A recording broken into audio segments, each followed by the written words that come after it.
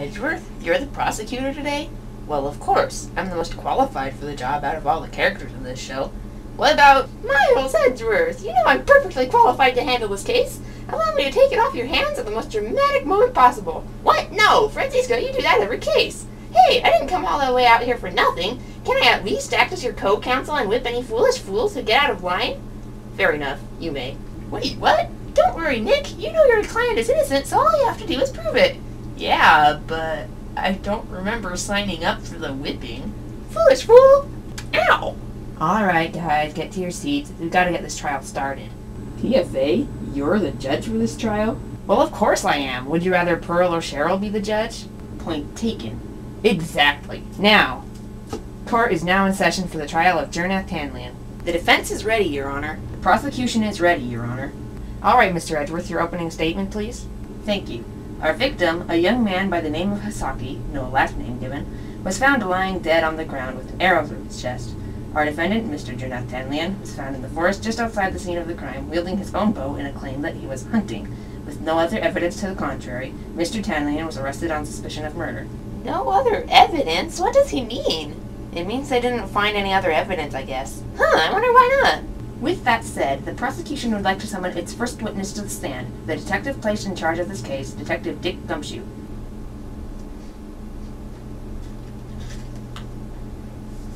Please state your name and occupation for the record of the court. Detective Dick Gumshoe, sir. I'm the detective in charge of this case, see? Now, detective, would you please testify to us about the defendant's arrest? Sure thing, sir.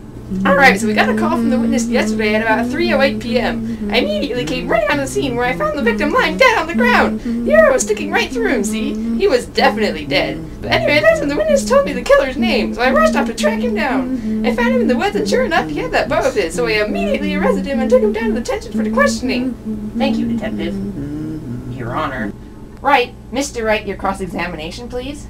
Yes, Your Honor. You can do it, Nick! So, Detective, any evidence to show us? Murder weapon, autopsy report? Well, we don't have the exact arrow that shot him, but here's the defendant's bow and arrow, sir. As for the autopsy report, no dice. Huh? No autopsy report? Detective, why isn't there an autopsy report? Uh, well, we couldn't do an autopsy on the victim because he wasn't there. Huh? What? Explain the foolish things you say before you say them, Scruffy. Ow. Well, Hasaki's from some kind of magical universe, so he just kind of faded away after he died. There was no way to do an autopsy on him, so I don't have a report. He just faded away? Wait, but you just told us that you found him lying dead on the ground. How is that possible? It's quite simple, really. There was a moment of delay after his death before he faded away. Think about your foolish questions before you foolishly ask them. Ow, hey, it was worth asking. But yes, one cannot perform an autopsy on someone who doesn't leave a body behind. Regardless, we can add this weapon to the court record. Also, Your Honor, please stop humming that. Sorry, couldn't help it. At any rate, yeah. Jernath's bow has been added to the court record. Alright then. So, um, what exactly can you tell me about why you arrested my client? It doesn't sound like you had an awful lot of proof to me.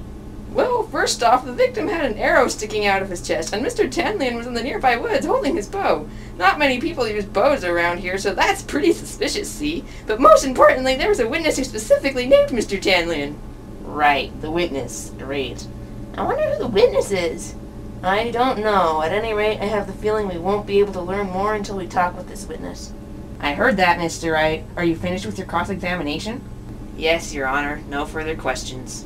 Very well then, detective, you may be dismissed. Now, as the detective has stated, there was a witness at the scene of the crime who provided us with the defendant's name for the arrest. The witness was the first, and one of the very few, to come upon the victim's body, and as such, the prosecution would like to call this witness to the stand. Ms. Kindleflare, please come forward. Kindleflare? The ant woman? Yes, Franziska, the ant woman. Of all the foolishly foolish fools in the world, it has to be her? Yeah, I know. Sucks, doesn't it? Still don't know why they let you take your whip in here if they confiscated mine. Why you? Franziska, let's remain civil, please. Witness, please state your name and occupation for the record of the court. Name's Kindleflare, as Edgeworth already said. As for my occupation, don't really have one anymore. Former administrator, good days, but now I'm just kind of PFA's unofficial record keeper. Both of which were self-appointed jobs, incidentally. Shut up, PFA. So, you want me to testify or something? Er, yes. If you could testify as to what you saw the night of the murder, sure thing. And if you hum a bar of that song, PFA, I'll find a courtroom-friendly way to make you regret it. Good luck with that. Look, Anyway, I was so I was just kind of minding my own business when I stumbled across Hasaki lying there with an arrow sticking out of him. Now, obviously, this meant he'd been murdered, so I did the first thing I thought of and called for the detective. Well, with the arrow and all, I gave him the only name it could have been. Obviously, Durnath. So, good enough testimony for you? I think it's up to Mr. Wright to decide that. Speaking of which, your cross-examination, please. Actually, Ms. Flare, I do have a problem with your testimony. Mainly, how did you know it was Mr. Tanlian who shot him? First off, don't call me Ms. Flare, because that's not my name. No last name, it's just Kindle Flare. Get it right. Such rude words should never be spoken in court, Miss Kindle Flare. Ow! I tell you, that woman's whip should have been confiscated too. Get on with the testimony, Kindle. Urgh. Anyway, like I said, who else could it have been? I mean, look at our little cast of characters and tell me how many of us use bows. Yeah, just Durnath. See? Mystery solved. Hold it! Huh, what? What is it? Ms. Kindle Flare, do you really mean to tell me that the only one around here who wields a bow is Mr. Tanlian? Well, yeah, that's what I just said, isn't it? I don't know about that, Nick. That doesn't sound quite right. I know. It feels like there's something we're missing. Let's forget that she exists again. That sounds like fun. What was that? Nothing. Whatever. Anyway, Durnath's not only the only one who could have done it, it just makes so much sense. I mean, first off, he's a mercenary. With a large enough sum of money, the guy'll do anything. Secondly, I think he's probably got a grudge against him. Hey, am I allowed to comment? Because I haven't a clue what this woman is talking about. Yeah, right, like we're going to believe the murderer over there. Silence, both of you! Ow! Ow! Hey, I'm the witness here! Foolish fools who foolishly go on about irrelevant matters! Ms. Kindleflare, if you could sum up your point quickly, I believe the court would appreciate it. Short and sweet is what you like then? Never could have guessed. Anyway, my point. He's got the weapon, he's got the motive. There's really no one it could have been other than Durnath. Objection! Whoa, wow, you really are loud when you shout that. Ms. Kindleflare, I'm afraid to say that I find a very large flaw with your testimony.